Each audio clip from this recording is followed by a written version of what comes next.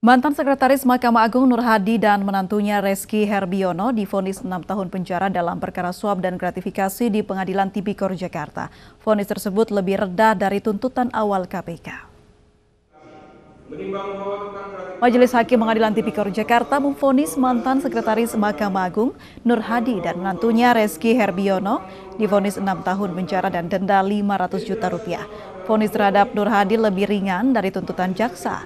Dalam tuntutan, Nur Hadi dihukum 12 tahun penjara, sedangkan Reski 11 tahun penjara.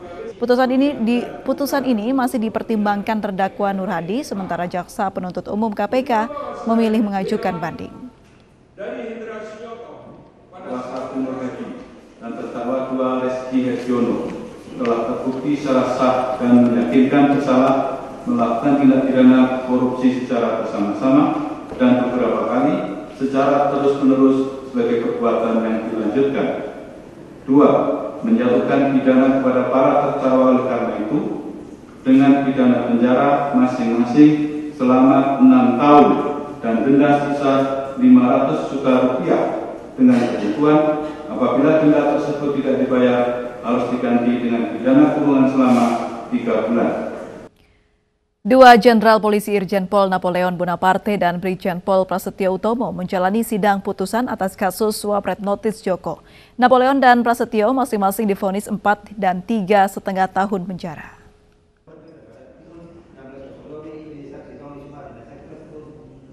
Mantan Kadifub Interpolri Irjen Pol Napoleon Bonaparte difonis 4 tahun penjara atas kasus suap red notice Joko Chandra di Pengadilan Tipikor Jakarta. Selain itu, ia juga dihukum denda sebesar 100 juta rupiah subsidi 6 bulan kurungan. Fonis ini lebih tinggi dari tuntutan jaksa, yaitu tiga tahun penjara. Napoleon dinilai terbukti secara sah dan meyakinkan menerima suap sebesar 200 ribu dolar Singapura dan 370 ribu dolar Amerika Serikat atau total 107 miliar rupiah. Napoleon langsung menyatakan upaya banding. Cukup sudah pelecehan martabat yang saya cerita dari Juli tahun lalu sampai hari ini.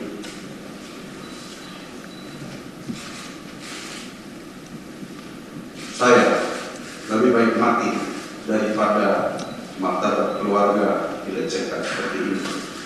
Saya menolak putusan hakim dan mengajukan Sementara, mantan Karo Korwas penyidik PNS Barreskrim Polri, Brigjen Pol Prasetyo Utomo, Rabu siang juga menjalani sidang putusan di pengadilan Tipikor.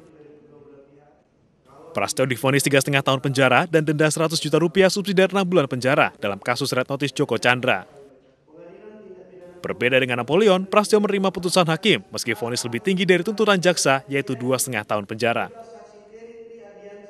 Dari Jakarta, Tim Liputan iNews melaporkan. Tim penyidik KPK memanggil enam orang saksi terkait kasus dugaan korupsi pengadaan tanah proyek rumah DP 0% yang menjerat dirut BUMD DKI Jakarta, Yori Pinontoan.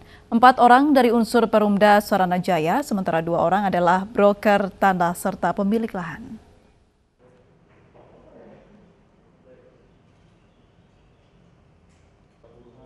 Empat orang saksi berasal dari Perumda Saranajaya yakni manajer unit pelayanan pengadaan tahun 2017-2020 Rahmat Taufik, senior manajer divisi usaha 2019-2020 Selamat Rianto, junior manajer subdivisi akuntansi dan anggaran Asep Firdaus Risnandar, serta junior manajer divisi pertanahan 1 I Gede Aldi Pradana. KPK juga memanggil broker tanah dalam kasus ini yakni Minan serta bendahara ekonom Kongregasi Suster CB Provinsi Indonesia Francisca Sri Kustini CB alias Franka CB. Namun dari enam orang itu baru tiga orang yang hadir yaitu Rahmat Taufik, Asep Firdaus, Riz Nandar, dan Franka CB.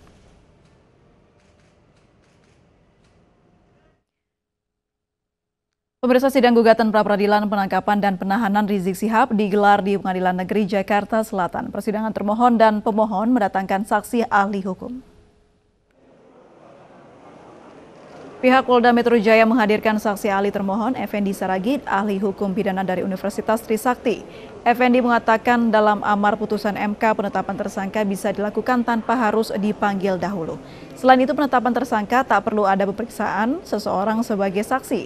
Sementara saksi ahli dari pemohon bernama Abdullah Cair Ramadan ahli hukum pidana Universitas Islam As-Safiyah, berpendapat dalam penetapan tersangka harus memiliki dua alat bukti.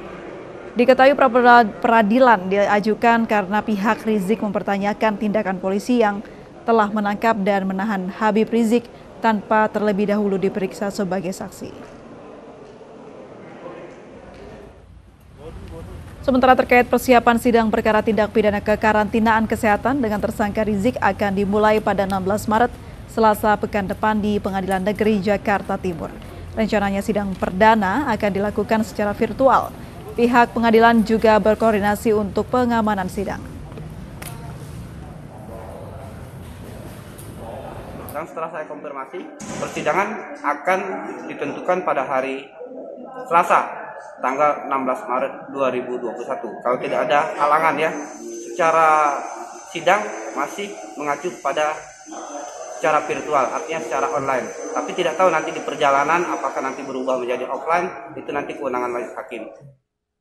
Baris Krim Polri meningkatkan status kasus unlawful killing oleh polisi yang menewaskan empat anggota FPI di kilometer 50 tol Cikampek menjadi penyidikan. Namun peningkatan kasus ini belum diikuti dengan penetapan tersangka. Setelah melakukan gelar perkara penyelidikan kasus unlawful killing atau pembunuhan di luar hukum yang menewaskan empat anggota FPI di kilometer 50 tol Cikampek ditingkatkan menjadi penyidikan. Meski telah dinaikkan menjadi penyidikan, tiga anggota Polri yang diduga terlibat dalam penembakan unlawful killing, statusnya masih terlapor namun dibebas tugaskan. Barreskrim Polri berjanji akan menyelesaikan penyidikan kasus ini sejalan dengan rekomendasi Komnas HAM. Proses penyelidikan telah berjalan dan hari ini dilakukan gelar perkara terhadap proses penyelidikan yang telah dilakukan. Dan hasil daripada gelar perkara hari ini status dinaikkan menjadi penyidikan dengan yang disangkakan terhadap tiga anggota Polri. Artis Rizky Bilar diperiksa polisi terkait kasus kerumunan dalam acara pembukaan restoran miliknya. Kami kembali usai jeda berikut ini.